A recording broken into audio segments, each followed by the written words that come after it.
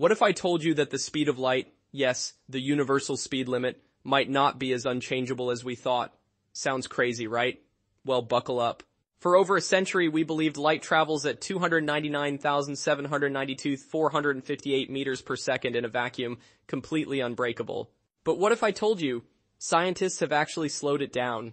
In 1999, Harvard physicists managed to slow light down to just 38 miles per hour by passing it through an exotic form of matter called a Bose-Einstein condensate. Imagine a beam of light moving slower than a bicycle. But wait, what if we could make light move faster? Some physicists theorize that in certain conditions, light might actually exceed its usual speed limit. Could this mean time travel is possible? So, is the speed of light truly fixed? Science says maybe not. And if we can manipulate it, who knows what the future holds? Quantum computers? Faster than light travel?